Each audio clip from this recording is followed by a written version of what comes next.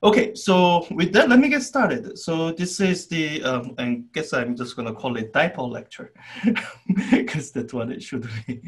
And biggest reason I want to do this uh, dipole lecture is that for now, this is an electric dipole lecture, but later on, a lot of this can be repurposed for magnetic dipole lecture. Uh, some, a lot of the things that we'll be bringing in in the context of electric dipole will still apply for a magnetic dipole.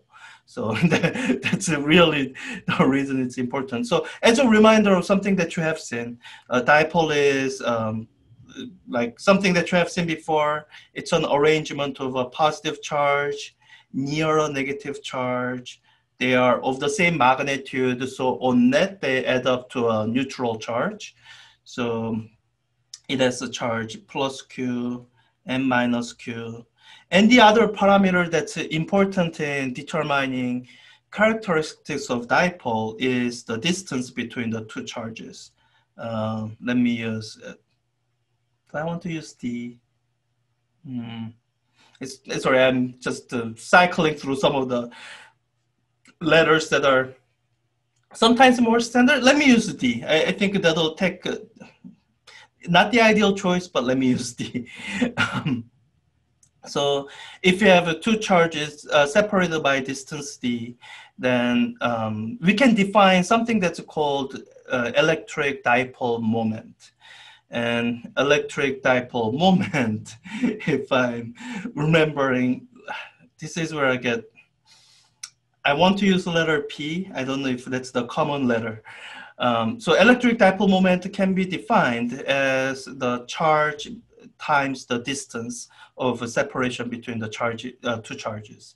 And there's a way to define this as a vector and or yeah, electric dipole moment is a vector. Um, charge being scalar, so you can associate D with a vector quantity. But uh, for the purpose of today, I won't get into that formal uh, description. I'll just, uh, and I probably won't even use electric dipole moment. So let me scratch that. And just to talk about electric dipole um, as something that you have seen before. So when you have arrangement of charges like this, you know what the electric fields look like. That's the context where you have seen electric dipole before. Um, as we are introducing the electric field lines, you've seen this as a way to illustrate how electric field lines come out of the positive charge and go into the negative charge or go out into infinity. So you have seen that. Now, one of the importance of electric dipole is it, it's it's a how common it is. So you have been seeing electric dipoles all over the place without any explicit reference to it. I think uh, I can point you to the um, the most uh, prominent, uh, most uh, noticeable one. Uh, that's uh, one of the electrostatics demos.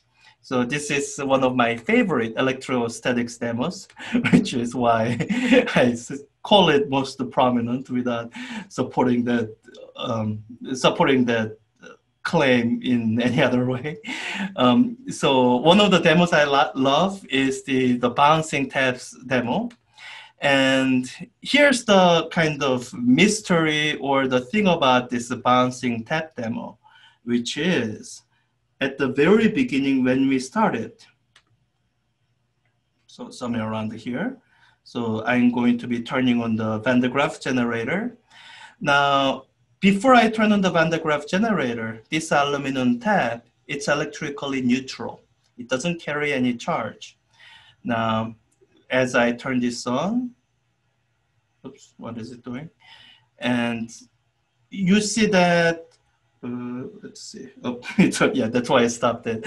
Over the next less than five seconds, you are going to see this aluminum tap attracted to this sphere. And the natural question is how? This tap is not charged. If it doesn't carry any electric charge, how could it be electrically interacting with anything?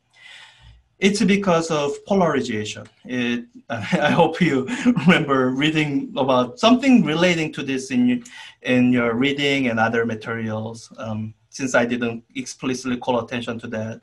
Let's say if this sphere is being positively charged, then as a result of those positive charges, which have uh, outgoing electric fields, these electric fields polarize the aluminum tab so that the aluminum tab has negative charges or preferentially on one side and the positive charges on the other side. And this is one example of a dipole arrangement. It's an electrically neutral object which has one charge on one, it has a charge separation. And this is a very common way um, we see electrical interaction between everyday objects from something macroscopic like aluminum tap to something microscopic like a molecule, a polar molecule, or even regular, I don't know, covalent bond molecule. I'm not a chemist. Um, even those when it's placed under an electric field, there can be an induced dipole, and that results in electrical interaction. So because the dipole is a very common way we model electrical interactions, especially when something doesn't carry a net charge. So it, that's why it's such a it's a, such a common electrical object and understanding it well is it's useful for applying what you learn in this class for what you might be asked to do in other classes chemistry biology whatever